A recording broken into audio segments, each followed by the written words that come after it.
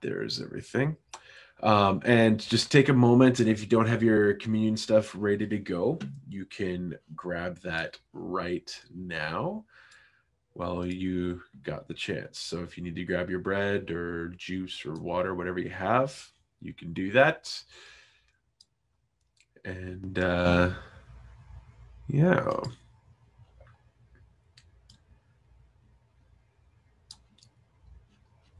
So, um, this past Sunday, we talked about creation and the fall, and Adam and Eve were created in the image of God, given authority to rule over all creation. And then the devil makes himself look like a serpent, convinces Adam and Eve to uh, fall into the same sin that he uh, partake partook in, uh, which was to try to be like God, and thus the fall of man began. And so, in light of that, we're gonna just take a moment and we're gonna pray and uh, ask that we'd have the right perspective um, today, remembering what it is that Jesus accomplished. Lord, we thank you for who you are, that you are the King of Kings and Lord of Lords, and that um, when you knew that man was going to fall, you already had a plan. And that plan was to send your son to live the life that we should have lived and then die on the cross in our place for our sins. And so today I pray that, Lord, we would have, again, that right perspective, that we would have open hearts and minds before you and just remember our great need for our Savior. Amen.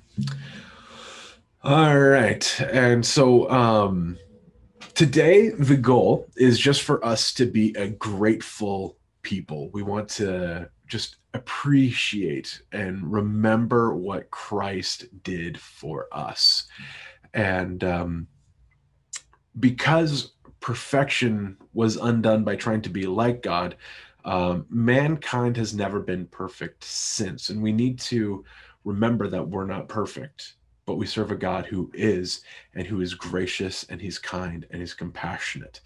Um, you've heard me say this before, possibly, but uh, you, you've you've heard other people say God doesn't expect you to be perfect, and and that is an absolute lie. It's a lie that uh, comes from the devil. It's not true at all. Uh, God, in his holiness, absolutely does expect perfection from us. He's a perfect God and deserves no less than perfection. And God takes holiness, perfection so seriously uh, that even the angels who minister to him in his presence have to be perfect. That if people interact with them, the angels, uh, people want to die because those people realize how broken, how messed up they are. We see them fall on their knees as if dead. And that's just getting in the presence of the angels. And so the people want to even worship the angels mistakenly. And the angels are like, no, no, no, no, don't do that. I'm, I'm not God. Don't worship me but because people realize how broken they are once they get into the presence of holiness the and righteousness they they realize how again broken and messed up they are. And so uh, we most certainly are messed up. We are all broken. It doesn't take long for us to live our lives to realize that we've done things wrong that we've hurt someone or uh, been hurt ourselves. We live in a broken world. And yet, God still demands perfection. He doesn't lower the bar for us. Perfection is still perfection. It is still the standard. God is perfect. And, and Jesus himself said in, in Matthew chapter 5, verse 48, in the midst of uh, the Sermon on the Mount, be perfect as your heavenly Father is perfect. That was part of the call. As part of how we are to live is in perfection. So Jesus, he lived the perfect, sinless life, and yet we can't. And that's why in Revelation chapter 5, or sorry, two, chapter 2, verse 5, it says, Remember the height from which you've fallen. Realize how broken you are. Romans chapter 3, uh, verse 23 says, For all have sinned and fall short of the glory of God. So none of us is perfect. None of us has, in and of ourselves, right standing with God. But there's Jesus, and Jesus came and lived the perfect life. He was perfect, He was perfection, He was sinless. He did what we couldn't do. And, and if you remember last week's sermon in Genesis chapter 3, verse 21, we see that God kills an animal for Adam and Eve to make clothes for them. God actually does the first sacrifice. Death enters the world at that point when God takes the first life, making clothes that cover the shame and the sin of Adam and Eve and oftentimes I, I, don't think we really wrap our minds around the fact that it's god that actually did that first. We think that it was people. We think that people were the first ones to die. But no it was an animal that god killed because blood needed to be shed. And and, and that's the the sad part. That's but god is the one who did that sacrifice that first sacrifice. And then jesus did that once and for all doing something that we could not do in and of ourselves. So, Jesus, God, He has this perfect standard. And what Jesus did is He came down from that bar to pull us up to it. He's the one that fills that gap. So, in Romans chapter 3, verse 24, it says, Because of the work of Jesus, all are justified freely by His grace through the redemption that came by Christ Jesus.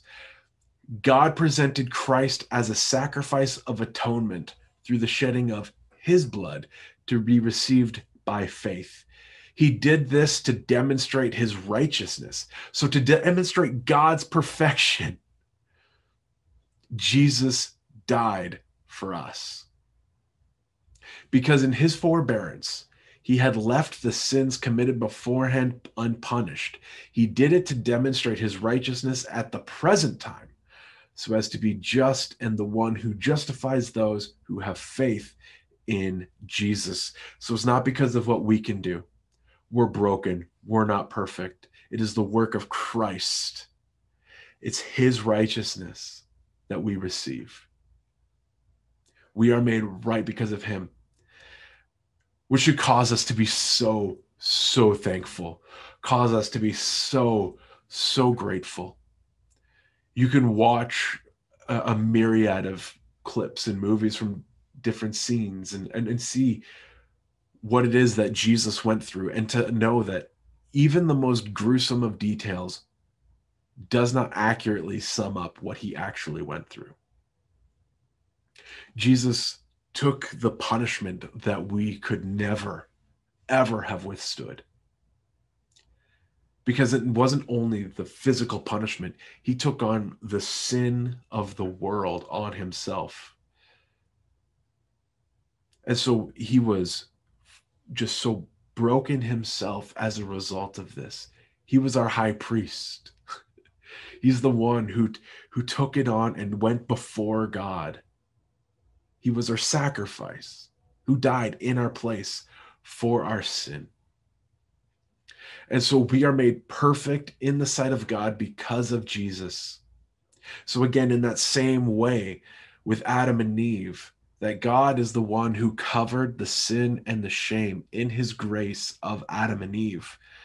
Because of the work of Jesus, our sin, our shame was covered once and for all. So we live our lives in thankfulness, recognizing again that we're not perfect, but Jesus is our perfection. Jesus is the one who fills that gap between us and perfection. So we are a grateful people for what he did. His death on the cross is so important as it's where our forgiveness comes from. When Jesus died on the cross, he did it for our sin. He forgave us conquering sin. Conquering sin. And that should just not only cause you to kind of get excited, but create a freedom knowing that the weight of all the dumb things that you've ever done, whether intentionally or unintentionally, or all the things that you should have done that you didn't do. Jesus took all that upon himself and forgives us of our sin, which is amazing because we're not perfect. We are the imperfect ones who damaged the relationship with the perfect one.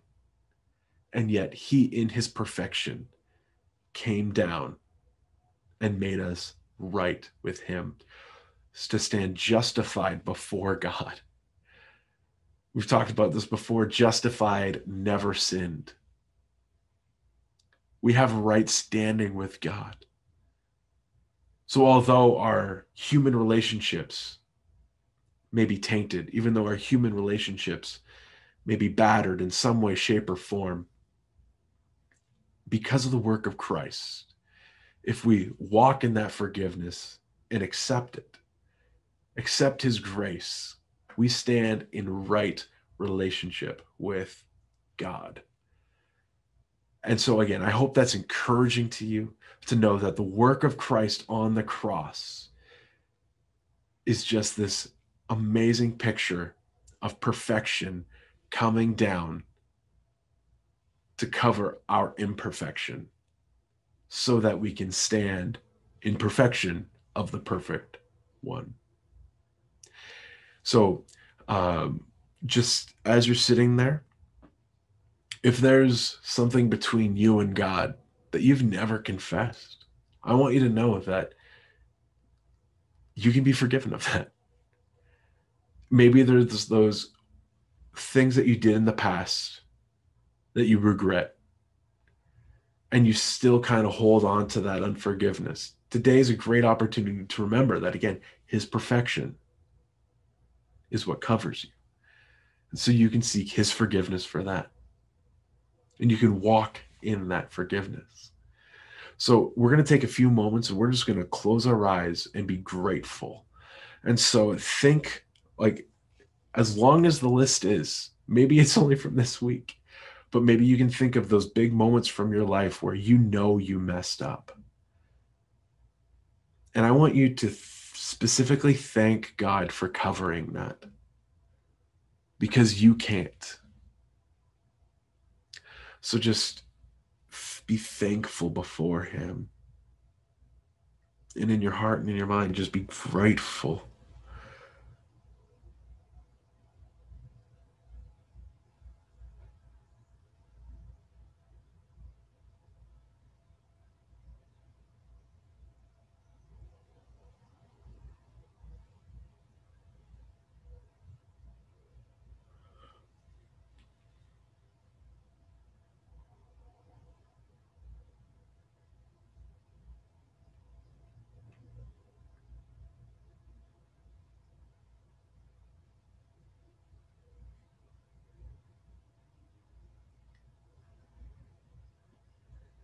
Hmm.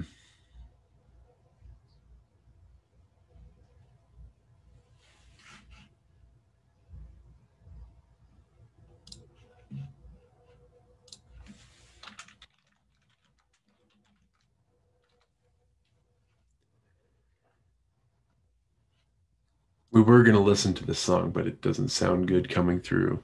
So I'm just going to read the lyrics. I hear the Savior say, Thy strength indeed is small. Child of weakness, watch and pray, and find in me thine all in all. Jesus paid it all, and all to him I owe. Sin had left a crimson stain, he washed it white as snow. Lord, now indeed I find thy power and thine alone can change the leper spots and melt the heart of stone. Jesus paid it all. All to him I owe. sin had left a crimson stain, he washed it white as snow. And when before the throne I stand in him complete, Jesus died my soul to save, my lips shall still repeat. Jesus paid it all, all to him I owe. Sin had left a crimson stain, he washed it white as snow. Oh, praise the one who paid my debt and raised this life up from the dead. Jesus paid it all. All to him I owe. Sin had left a crimson stain, and he washed it white as snow. So we're now going to take communion and remember what Christ did. So if you have your your bread or your water, whatever it is, again, it's it's more about the remembrance than about the items. Um, I once took communion with a pita bread and uh, lemonade, and uh, it was probably one of the most impactful, impacting uh, communion experiences I've ever had because it was with our missions team, and uh, we've been doing life together for for over a week and a bit from different places. Uh, a bunch of people from Scotland, England, and BC. One person from the states, and we were serving together. And then we remember took time to remember what it is that Christ did. And so I'll be reading from uh, Luke chapter 22, starting with verse 14. And again, this is at the Last Supper. So Jesus is having his last meal with the apostles. And when the hour came, Jesus and the apostles reclined at the table. And he said to them, I have eagerly desired to eat this Passover with you before I suffer. For I tell you, I will not eat it again until it finds fulfillment in the kingdom of God. And after taking the cup, he gave, gave thanks and said, Take this and divide it among you. For I tell you, I will not drink again from the fruit of the vine until the kingdom of God comes. And he took the bread and gave thanks and broke it, and he gave it to them, saying, This is my body given for you. Do this in remembrance of me. In the same way, after supper, he took the cup, saying, This is the new covenant in my blood, which is poured out for you. But the hand of him who is going to betray me is with mine on the table. The Son of Man will go as it has been decreed, but woe to the man who betrays him. And they began to question among themselves which of them it might be who would do this. But interestingly enough, it's all of us that ultimately betrayed God because we're not perfect. And Jesus still died for all of us. And so we take this bread and this drink and we we do this in remembrance of him. So we'll take the the bread first as most people traditionally do. And uh, if you're with me, you got the the wafer if you're here on Sunday. If if you if you weren't, you might have a piece of bread and that's okay. Or you can have a Mars bar. I don't mind. But it's about taking it in remembrance of him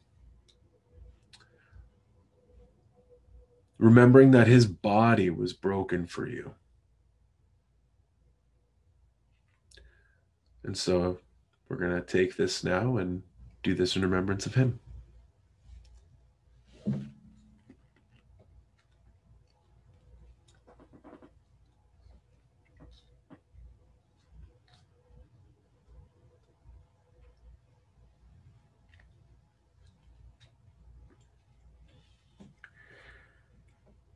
And again, his blood was poured out for us. And so we are grateful for what he did for us. So when we take the cup, we do it in remembrance of him, what he did. That idea of remembrance is in thankfulness, we remember what he did. So let's partake of the cup.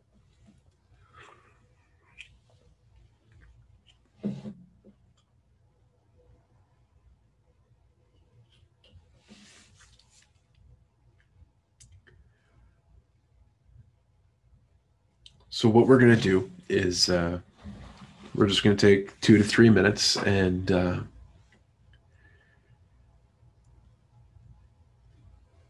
if you're comfortable, I just want you to feel free to share um, and just say uh, like why you're thankful for for what he did, how it changed your life. I know that none of you were prepared for this, and that's okay.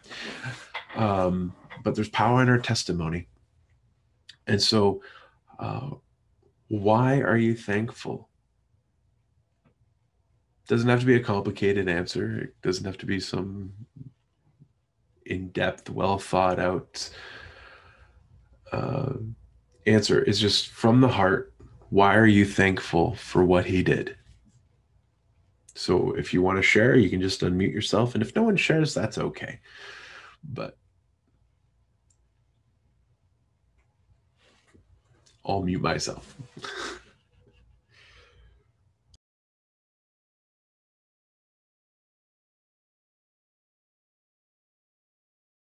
I can share. Um, so I know for me, like I wasn't a Christian my whole life, so I went to church as a kid and it was something that we just kind of did. It didn't really mean anything. Um, and then as I I was almost an adult, I was about 17 when I came to be saved. And for me, it gave me purpose and peace because right before I got saved, there was a lot of questioning things in life and trying to figure out what to do with myself and find my way in the world. And um, I know I struggled a lot without God in my life. So having Him in my life has been wonderful. I always have something to look forward to the next day when I wake up in the morning, knowing that He's there and that there is a reason why we're all here. So I like that. That's awesome. Anyone else?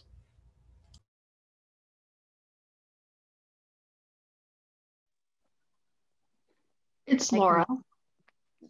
and I mm-hmm. just I just wanted to say that I am very, very grateful that even in the darkest moments or the worst parts of life, I know I'm never alone.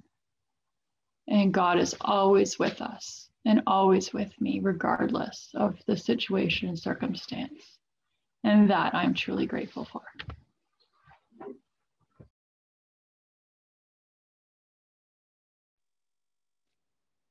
So I'll take a moment to share. I actually came to Christ at a very early age. I was five years old when I accepted Him. So I often grew up thinking, wow, I don't have some dramatic story about, you know, a life of hardcore something and then turning around. My uh, family was a Christian family. I was raised in a Christian home.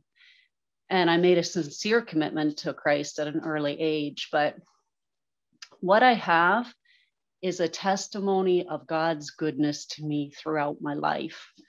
I remember as a teenager when my family was falling apart, I actually prayed one night. I said, God, even if I want to run away from you, don't ever let me. Keep me with you. And you know what? Through it all, I believe God has honored that prayer. He has been faithful to me. And as anyone who's been a Christian for any length of time can testify, we go through dry spells. We all do. We all struggle at some point. But thank God he's just so faithful to me and I appreciate that. And Xander just swiped away my screen, so I don't know if you heard all that. we did. We did. Oh. that was amazing.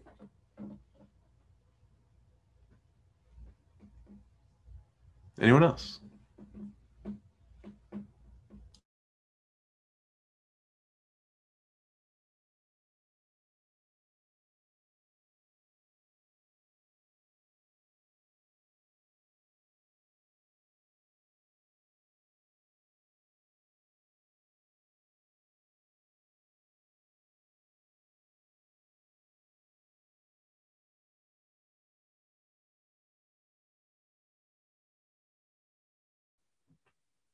He's a really faithful God in my life. I was 13 when I asked him into my heart. I talked to people about Jesus before. Um, I, you know, I went to a Baptist Sunday school, and so I knew all about salvation, and I would explain salvation to people. But I was at a church camp one night when I was 13, and I realized when the pastor made the call for people to become a Christian, I realized I really hadn't prayed that myself. Like I never had that starting point. Like I always believed it, but I didn't really ever have a, a point where I really made a point that I really believed it to him. And uh, so that's when I was 13, that's when that happened in my life. And as a teenager, sometimes at high school, I didn't make the best of friends with my convictions and the things I had to say. But um, I remember in grade 11 thinking, maybe if I just kind of moderated a little bit, you know, then people would maybe um, believe me and, and listen to me a little better. It wasn't until I was 17 and received the baptism of the Holy Spirit that it really made a bigger difference in my life. Then I was really assured that I was totally saved. I was assured of what I really understood. And I seemed to have a little more wisdom on how to explain it to people without thumping them over the head with my Bible. So um, so I've always enjoyed doing stuff with kids and kids ministry and explaining salvation to kids. And sometimes I worried though that if they were real young and asked Jesus into their heart, if you kind of inoculate with them with the gospel instead of really explaining and them, you know, because my kids themselves were very young when they made commitments, and I, I, I can.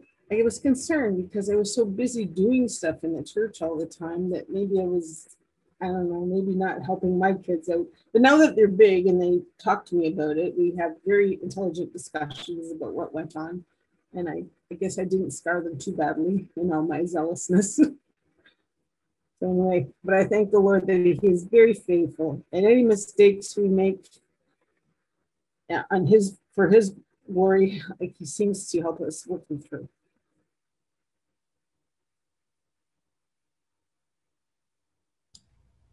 That's great. Thank you, Judy.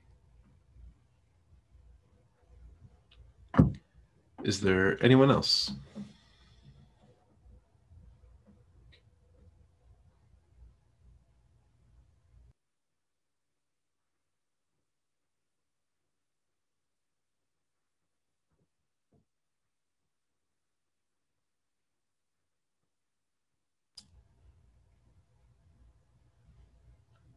Awesome.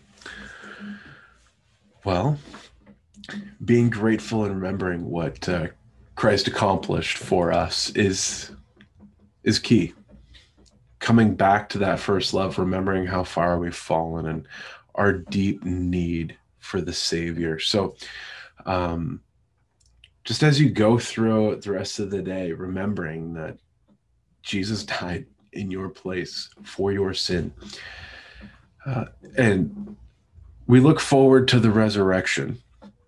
And I don't want you to be a, a downer and not remember the fact that Christ, he did come back to life. I don't want you to mourn, uh, but I do want you to remember what he went through on our behalf.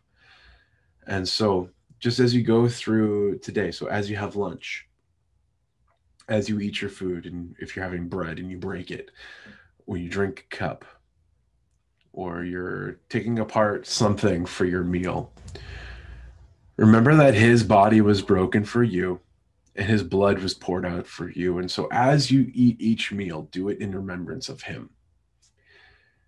Even if it's us eating birthday cake at, for, for Lucy's birthday, it's remembering that his body was broken for us and that because of his grace, because of his mercy, I have a family because I'm pretty broken. I'm pretty messed up. And God, in His grace, gave me a family, and I get to celebrate with my daughter her birthday. And so that's exciting, and that causes me to be grateful. So, um, yeah, so that's the that's the homework, if you will, for today. Just as you to eat each meal, just do it in remembrance of Him. You don't have to say it out loud but just as you do it, do it in remembrance of him and just say thank you jesus for what you went through. And so with that being said i'm going to pray for you and then i'm going to ask one question after. Jesus we thank you so much for what you did. That god you would cause us to remember that what you went through on the cross was not easy. That you were a human being taking on the sin of the world And you did it for us because you loved us. That perfection came down to cover us in perfection. So, Lord, I ask that we would be grateful and live our lives in thankfulness before you. And that we really would see lives changed and transformed, including our own, for your glory. And that that would just continue and that today all, as other churches meet together and and take communion that god you would bless them as they come together and remember what you did and went through. You would bless them and that there would be salvations. In your name amen well thanks again so much for uh, joining and for anyway love you guys appreciate you and I feel like this year for Good Friday went a lot smoother than last year, at least on my end, because there's no pets jumping on me nor children. I don't know how Mary's doing right now. Her screen's off. So I'll find out. anyway, thanks again so much, everyone. And I love you. You have a great rest of your Easter. Bye. Happy Easter, everyone.